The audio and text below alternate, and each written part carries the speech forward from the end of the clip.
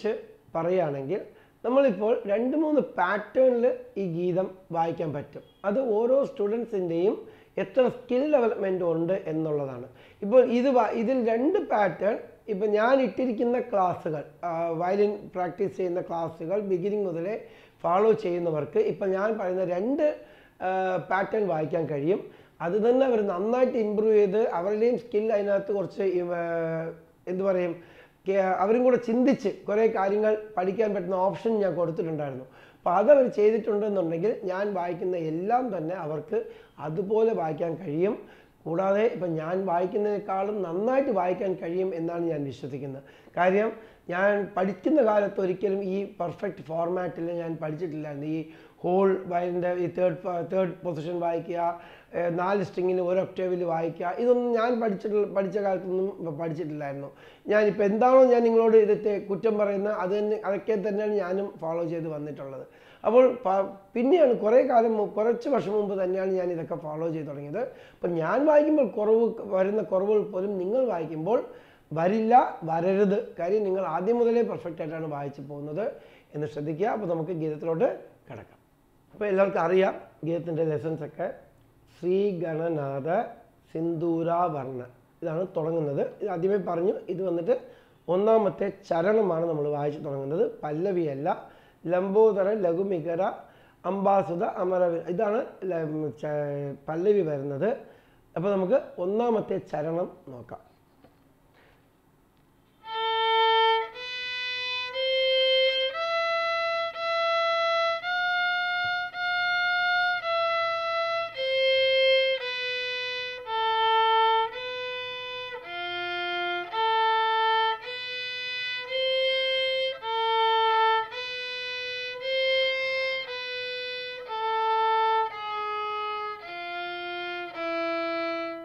ഇതാണ് മൂന്ന് ചരണത്തിനും വരുന്ന നോട്ട്സ് മൂന്ന് ചരണമുണ്ട് ഇതിനകത്ത്.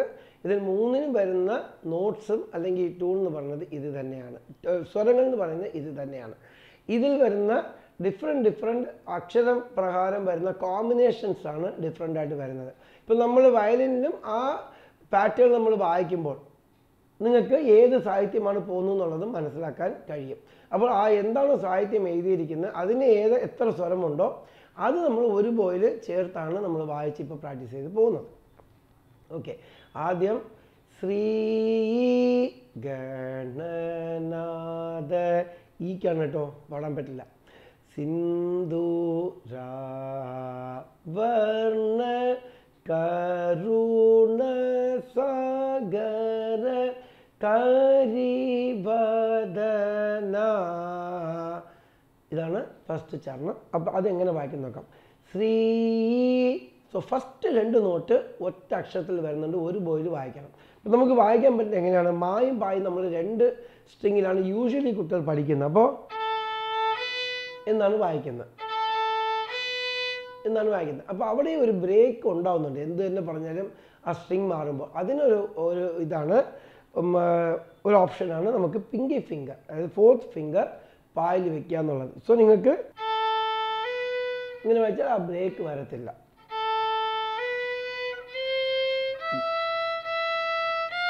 ഗണനാഥ. നാലെണ്ണം സിംഗിൾ ദീസ ദാപ്പ മപ്പയിൽ ദാപ്പ ആണ് ഇവിടെ ഒരു ബോയിൽ വരുന്നത്.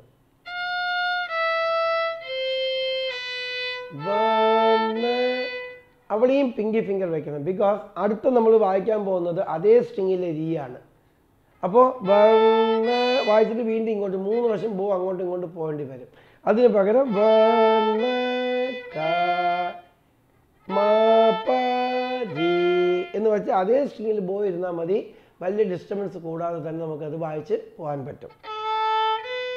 കരുണ സാഗര കരിവ ഇത് കരുണസാഗര എല്ലാ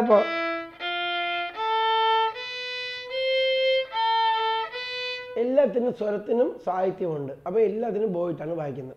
നെക്സ്റ്റ്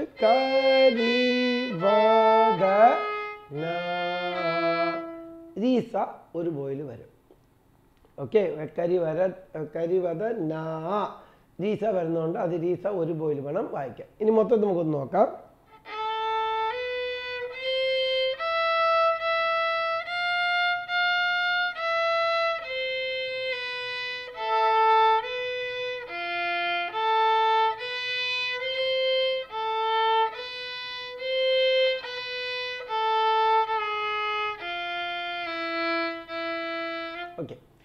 അടുത്തത് ഇവിടെ നിന്ന് നമ്മൾ നേരെ പല്ലവിയിലോട്ട് പോകുന്നു. ലംബോദര ലഘുമികര സാരി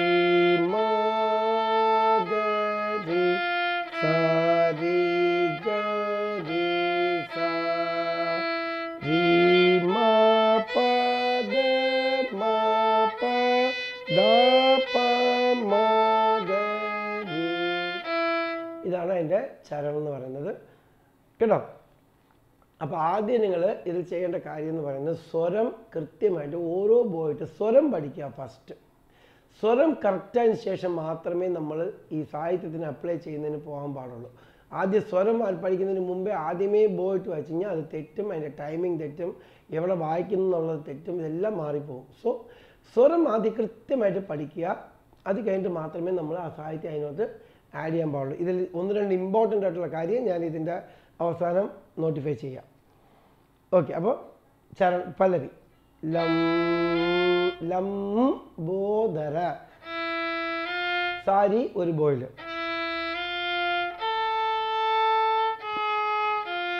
ലഘു മിക രാ. സരി ഗേരി സാ.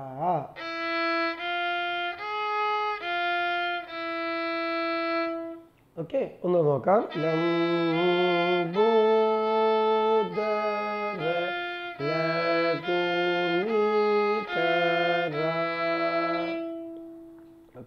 ഓക്കെ ഇതിന്റെ സെക്കൻഡ് ലൈൻ രീമ പാദ മപ ദാപ മഗ രീസ അം ബാസൂത അമര വിനൂത സോ അം രീമ ഒരു ബോ ഒരു ബോ ബ പദ ഒരു ബോ അംബ സൂത രണ്ട് ബോ ആ മര വിനൂത ദാപ്പ മകേഴ്സ് എല്ലാം സിംഗിൾ ബോയാണ് എല്ലാത്തിനും എല്ലാ സ്വരത്തിനും സാഹിത്യമുണ്ട്. അംബ സൂത അമര വിനൂത അഗൈൻ പല്ലവിയുടെ ഫസ്റ്റ് ലൈൻ അം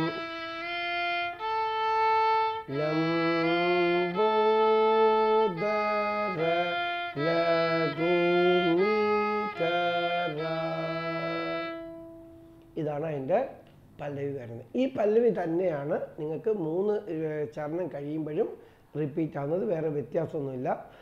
ഒന്നുകൂടി പറയുന്നത് ഇതിന്റെ അവസാനം രണ്ട് മൂന്ന് കാര്യങ്ങൾ പറയുന്നുണ്ട്. വളരെ വളരെ ഇമ്പോർട്ടന്റ് ആയിട്ടുള്ളതാണ്. അത് ഇതെല്ലാം കേട്ട് കഴിഞ്ഞിട്ട് അത് കേൾക്കുക. പെട്ടെന്ന് ചാടിക്കരുത് കേൾക്കരുത്. ഇതെല്ലാം കേട്ടിട്ട് വേണം അത് കേൾക്കാൻ. തന്നെ മനസ്സിലാകത്തുള്ളൂ ഓക്കെ ഇനി നമ്മൾ രണ്ടാമത്തെ ചരണത്തിലോട്ട് പോകാം. അതിനും സെയിം സ്വരം തന്നെയാണ് മപ്പാദാസ സൈ തുടങ്ങുന്ന അതേ മൂന്ന് ലൈൻ തന്നെയാണ് വീണ്ടും വരുന്നത്. പക്ഷെ സാഹിത്യത്തിലാണ് അവിടെ വ്യത്യാസം വരുന്നത്. സിദ്ധ ചാരണ എന്നുള്ളതാണ് അവിടെ വരുന്നത്. അപ്പോൾ നമുക്ക് സിദ്ധ മപ്പ നമുക്ക് ഓപ്പൺ സ്ട്രിങ് വായിക്കാം. കാര്യം രണ്ട് സ്വരവും രണ്ട് സാഹിത്യമുണ്ട് അവിടെ പിങ്കി ഫിംഗർ വെക്കണമെന്നില്ല. ദസ എന്നുള്ളതാണ് അവിടെ ചേർന്ന് പോകുന്നത്. സിദ്ധ ചാ എന്നാണ്.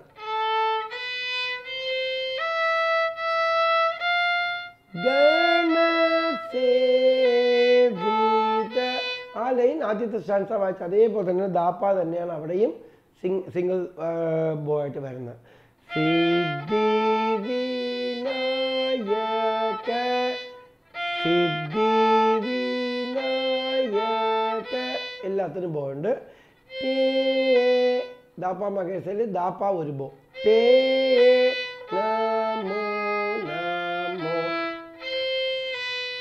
ഫുള്ളായിട്ട് വായിക്കണം. ധൃതി വെച്ച് ഇന്ന് ചാടിപ്പോകാനുള്ള സാധ്യത കൂടുതലാണ്. കാര്യം ഒരു രണ്ട് കൗണ്ട് വായിക്കുമ്പോൾ ആ രണ്ട് കൗണ്ട് കംപ്ലീറ്റ് ആവാറില്ല മിക്കവാറും. കറക്റ്റായിട്ട് തീരണം. നമ്മ നമ്മ എല്ലാം താഴോട്ട് തന്നെയാണ്. ഇതാണ് ഈ സെക്കൻഡ് സ്റ്റാൻസയിൽ വരുന്ന ഒരേ ഒരു കാര്യം എന്ന് പറഞ്ഞത് സിദ്ധ ചാരണ എന്ന് പറഞ്ഞ് കയറിപ്പോകുന്നത് ദാപ്പയിലാണ് വരുന്നത്. മൂന്നാമത്തെ ചരണത്തിൽ വരുന്നത് സകല വിദ്യാ അതിപൂജിത എന്നാണ്. അവിടെ വരുന്നത് മപാദസ സരിയിൽ സരി അഞ്ചും ആറും സ്വരമാണ്. സാ രി എന്നുള്ള സ്വരമാണ് ഒറ്റ സാഹിത്യത്തിൽ വരുന്നത്.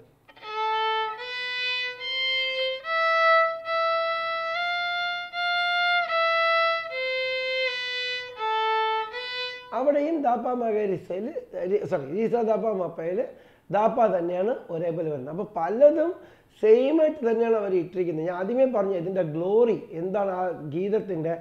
ഇതുപോലൊരു ഗീതമൊക്കെ നമുക്ക് ഇക്കാലത്ത് ചെയ്യാൻ പറ്റുമെന്നുള്ളത് ചിന്തിക്കാൻ പോലും പറ്റാത്തതാണ്.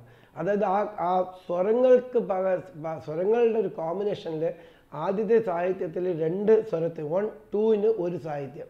അടുത്തത് ത്രീ ഫോർ എന്ന സ്വരത്തിന് ഒരു സാഹിത്യം. അടുത്ത ഒരു ഒരു ഒരു ലെറ്റർ അത് കഴിഞ്ഞ് പിന്നെ ഫൈവ് സിക്സ് എന്നുള്ളതിന് ഒരു സാഹിത്യം. പിന്നെ കൺഫ്യൂസ് ചെയ്യാതിരിക്കാൻ വേണ്ടി മൂന്നിനും ഒരേപോലെ രീസ ദാപ്പ മപ്പയിൽ ദാപ്പയിൽ മാത്രം ഒരേ ഒരു- അതേ ഒരു സ്ഥലത്ത് തന്നെയാണ് ആ ഒരു സാഹിത്യം വരുന്നത്. ഇങ്ങനെയൊക്കെ സാഹിത്യം എഴുതാൻ പറ്റുമോ? ഇത്രയും അർത്ഥത്തോടു കൂടിയും ലളിതമായും ബെസ്റ്റ് ലാംഗ്വേജിലുമൊക്കെ നമുക്ക് ഇങ്ങനെ ഇത്തരം ഒരു സംഭവങ്ങളൊക്കെ ഇക്കാലത്ത് അത് കഴിഞ്ഞ് ഇങ്ങനെ ഒരു ഗീതം ഉണ്ടായിട്ടുണ്ടോ വെച്ച് കഴിഞ്ഞാൽ ഇല്ല. അതുകൊണ്ടാണ് ഇന്നും ഈ ശ്രീകണ്ഠനാഥ എന്ന് പറയുന്നതും അല്ലെങ്കിൽ വരവീണ അല്ലെങ്കിൽ പദ്മനാഭ കമലജാഥ ഇതെല്ലാം എന്ത് പറയും? ആ ടോപ്പ് ഷെൽഫിലിരിക്കുന്നതിന്റെ കാര്യം ഒരു കാരണം ഒരിക്കലും ഇത് അഴിഞ്ഞു പോകില്ല എന്ന് പറയുന്നതിന്റെ കാര്യം അതിനകത്തുള്ള വർക്കിന്റെ ഗ്ലോറിയാണ്. അമേസിങ് വർക്കാണ് ഇതൊക്കെ. കേട്ടോ? അതുകൊണ്ട് അതിനെ രസിച്ചും അറിഞ്ഞും പഠിക്കുക. നമ്മൾ പല കാരണത്തിലും ഇതിനെ അവോയ്ഡ് ചെയ്യുന്നത് നമ്മൾ പഠിക്കുന്ന വയലിനായതുകൊണ്ടാണ്. അല്ലാതെ ആ ആ- കൃതിനെ നമ്മൾ ഒരു കാരണവശാലും നമ്മൾ കുറ്റം പറയുന്നില്ല. ഗീതം കൺസ്ട്രക്ഷൻ കുറ്റം പറയുന്നില്ല. അക്ഷരം ഒന്നിനെ നമ്മൾ കുറ്റം പറയുന്നില്ല. പക്ഷേ നമ്മൾ എന്ത് പറ്റിപ്പോന്ന് വെച്ച് കഴിഞ്ഞാൽ ഒരാൾ ഇന്റർവ്യൂ ചോദിക്കുന്നു നമ്മ മറ്റൊരാൾ ഉത്തരം പറയുന്നു. പക്ഷേ ഇന്റർവ്യൂ ചോദിക്കുന്ന ക്വസ്റ്റ്യന് നമ്മൾ ഉത്തരം പറയാൻ നമ്മൾ തയ്യാറാണ്. പക്ഷേ അയാളുടെ വോയിസിൽ തന്നെ നമ്മൾ ഉത്തരം പറയണം നിർബന്ധം പിടിക്കുമ്പോഴാണ് ഈ പ്രശ്നം വരുന്നത്. മനസ്സിലായില്ലേ? വയലിനിൽ ആ ലെസൺ വയലിനിൽ എങ്ങനെയാണ് സൗകര്യം നമ്മൾ അതുപോലെ വായിക്കുക എന്നുള്ളതാണ് ഇത് ഏറ്റവും വലിയ കാര്യം. എന്നാലേ അതിന് ആ സുഖവും ആ വയലിനിൽ നിന്ന് കിട്ടുന്ന ഫ്രീഡവും ഒക്കെ ഉണ്ടാകത്തുള്ളൂ അല്ലെങ്കിൽ നമ്മൾ ഉത്തരം തെറ്റായിരിക്കും പറയുന്നത് അയാളുടെ വോയിസ് കിട്ടാനായിട്ട് ശ്രമിക്കുകയും ചെയ്യും.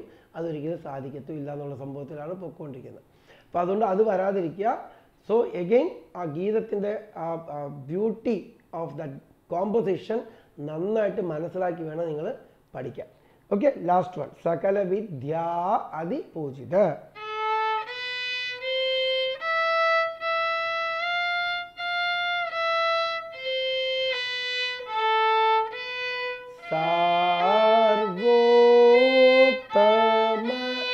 അവിടെ രീമാപാദം അപ്പം പലപ്പോഴും നമ്മൾ ഫുൾ ബോ വായിച്ചിരുന്നു. ഇവിടെ ചരണം നമ്മുടെ പല്ലവിയിൽ അംബാസുത വായിക്കുന്നില്ലേ? അതേപോലത്തെ ബോ തന്നെ. അംബാസൂത എന്ന് പറയുന്ന പോലെ തന്നെയാണ് ഇവിടെയും വരുന്നത്.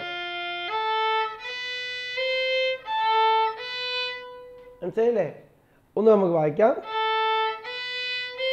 വിദ്യാ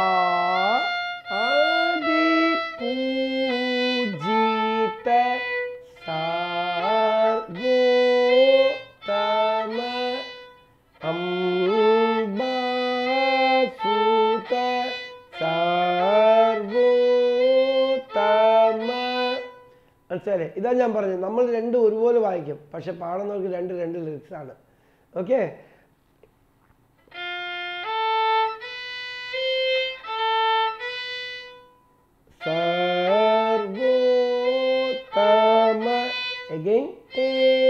അതേ ലൈൻ തന്നെ. നമോ നമോ തേ ദാപ നമോ നമോ.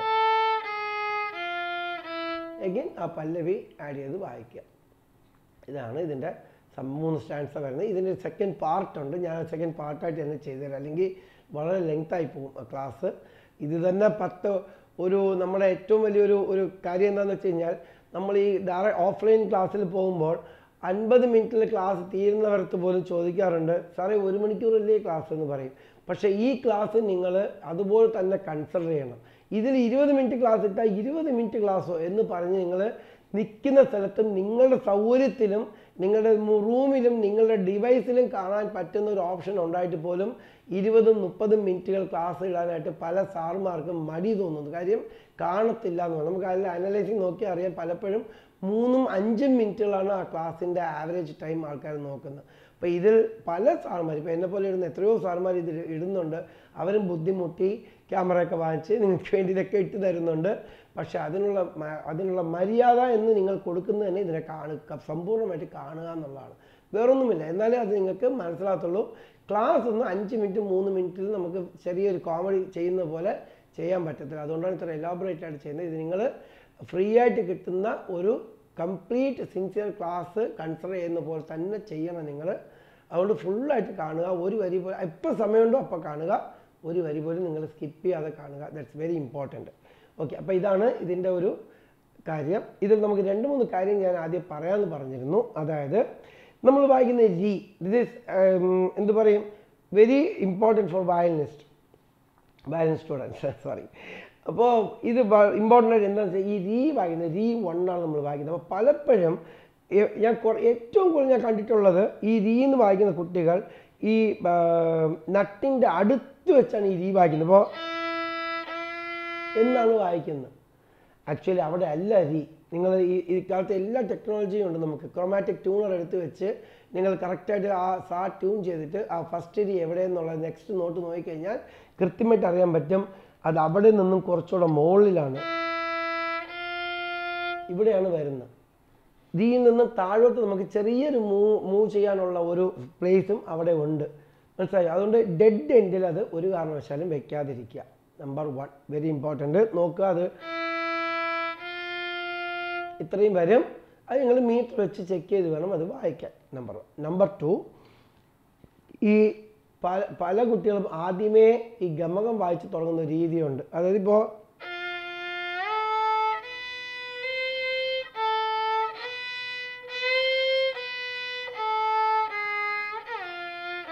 എന്നൊക്കെ ഞാൻ വായിച്ച് കുറേ കേൾക്കാറുണ്ട്. ദയവ് അത് വായിക്കരുത്. നിങ്ങൾ സ്വരം പെർഫെക്റ്റ് ആവട്ടെ.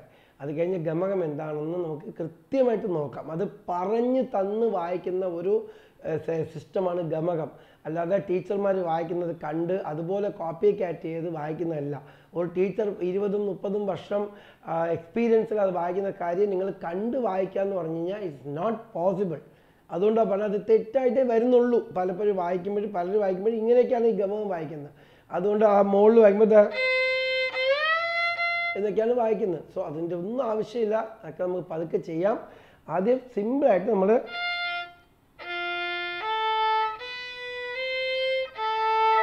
വായിക്കാതെ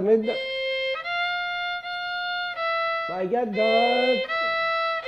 എന്നുള്ള നോട്ട്സുകൾ കൃത്യമായിട്ട് സാഹിത്യം ഏതൊക്കെ സ്വരം വരുന്നുണ്ടോ അതിന് ഓ- ബോ മാത്രം ഇടുക.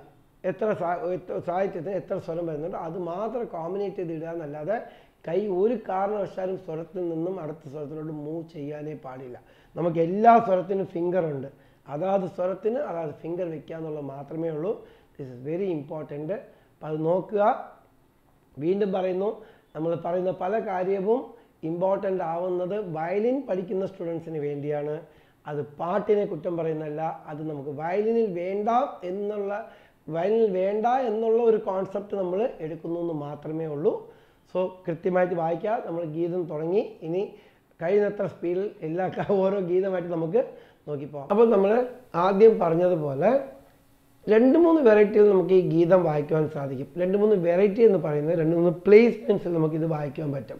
വയലിനിൽ ഒരേ സാ മൂന്ന് സ്ഥലത്ത് വായിക്കാം നമുക്ക്. അങ്ങനത്തെ ഒരു ഗുണമുള്ള ഒരു ഇൻസ്ട്രുമെന്റാണ് വയലിൻ എന്ന് പറയുന്നത്. വേറെ ഇൻസ്ട്രുമെൻസും ഉണ്ട്. അപ്പോൾ ഇതിൽ നമുക്ക് എങ്ങനെയൊക്കെ ഈ ഗീതത്തിനെ വായിച്ചാൽ നമുക്ക് വയലിനിൽ വയലിൻ വായിക്കാനുള്ള സ്കിൽ ഡെവലപ്പ് ചെയ്യാൻ പറ്റും എന്നുള്ളതാണ് നമ്മുടെ നമ്മുടെ ഇന്റൻഷൻ തന്നെ അതാണ്. അപ്പോൾ നമ്മൾ എങ്ങനെയാണ് ഇതിനെ വേറൊരു രീതിയിൽ വേറൊരു സ്ഥലത്ത് പ്ലേസ്മെന്റിൽ വായിക്കാമെന്ന് നോക്കാം. ഇതിൽ നിങ്ങൾ സാഹിത്യം വലുതായിട്ട് നോക്കണ്ട. കാര്യം നമ്മളിതൊരു പ്രാക്ടീസ് ആയിട്ടാണ് എടുത്തിരിക്കുന്നത്. അപ്പോൾ സാഹിത്യത്തിന് വലിയ ഇമ്പോർട്ടൻസ് കൊടുത്ത് ഈ ഒരു പൊസിഷനിൽ വായിക്കേണ്ട. സ്വരം വായിച്ച് പഠിച്ചാൽ തന്നെ നിങ്ങൾക്ക് നല്ല ഒരു സ്കിൽ ഡെവലപ്മെന്റ് ഉണ്ടാകും. അതായത് തേർഡ് പൊസിഷൻ എന്നാണ് ഇതിനെ പറയുന്നത്. അത് രീതിയിലാണ് ആദ്യം വെക്കുന്നത് അതേ ഫിംഗർ ഗായ് വരുമ്പോൾ സെക്കൻഡ് പൊസിഷൻ അതേ ഫിംഗർ മാ വണ്ണിൽ വരുമ്പോൾ തേർഡ് പൊസിഷനാണ് വായിക്കുന്നത്. എന്നാൽ തോന്നുന്നു എനിക്ക്? I am not very sure about that so മാ തേർഡ് പൊസിഷനിൽ വായിക്കുമ്പോൾ ജസ്റ്റ് നിങ്ങൾ മാ പാ പായുടെ അടുത്ത് ദ. അതേപോലെ അതേ ഫിംഗർ മായുടെ ഫിംഗർ നേരെ ഫസ്റ്റ് ഫിംഗറിൽ വന്ന സായി സായുടെ കൂടെ രീ പിന്നെ ഗ. ഗ എന്നുള്ളത് മൂന്നാമത്തെ തോട്ടാണ്. സാ കഴിഞ്ഞ് രീ കഴിഞ്ഞ് രീ ടു ഗ വൺ ദെൻ ഗ ടു. ഇതാണ് നമ്മൾ വയ്ക്കുന്ന പൊസിഷൻ എന്ന് പറയുന്നത്. ഓക്കെ അപ്പോൾ എങ്ങനെയാണ് ഈ സ്വരം വായിക്കുന്നതെന്ന് മാത്രം നോക്കാം.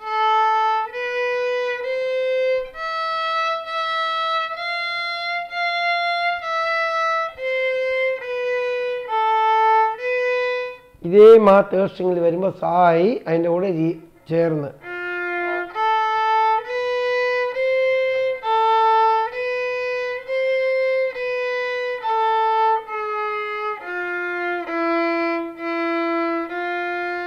ഇവിടുന്ന് ഒരു മാ വാക്യം. സരി മാഗരി എന്ന് വായിക്കാറുണ്ട്. സരി മാ മാത്രം വായിച്ചിട്ട് സെക്കൻഡ് സ്ട്രിങ്ങിൽ പിന്നെ വീണ്ടും തേർഡിൽ വരണം. അല്ല നിങ്ങൾ പിങ്കി ഫിംഗർ നന്നായിട്ട് പ്രാക്ടീസ് ചെയ്തിട്ടുള്ള സ്റ്റുഡൻസ് ആണെങ്കിൽ നിങ്ങൾക്ക് ഈ പിങ്കി തന്നെ മാ വെച്ചാൽ മതി സ്ട്രിങ്ങിൽ അത്രയേ ഉള്ളൂ.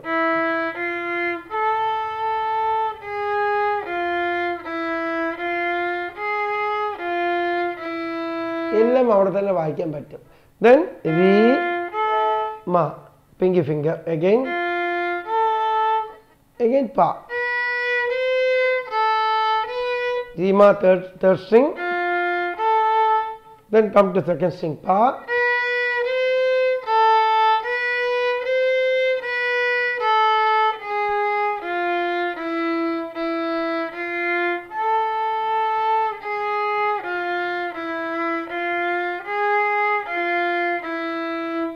ഈ പിങ്കി ഫിംഗർ എപ്പോഴാണ് വായിക്കുന്നത് വെച്ച് കഴിഞ്ഞാൽ അതിന്റെ ഒരു ഒരു സിസ്റ്റം എന്താണെന്ന് വെച്ച് കഴിഞ്ഞാൽ മാ കഴിഞ്ഞ് ഗാരീസ എന്ന് വരികയാണെങ്കിൽ മാത്രം നിങ്ങൾ തേർഡ് സ്ട്രിങ്ങിൽ പിങ്കി ഫിംഗർ വെച്ചാൽ മതി.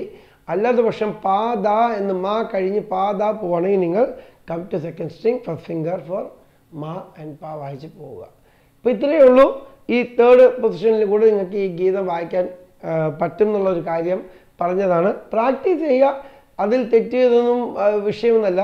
ഇപ്പോൾ ഏറ്റവും വലിയൊരു പ്രശ്നം എന്താണെന്ന് വെച്ചാൽ നമ്മൾ താഴെ കുറേ വായിച്ചിട്ടുണ്ട്. ഫസ്റ്റ് പൊസിഷനിൽ ഇങ്ങനെ വായിക്കാൻ നമുക്ക്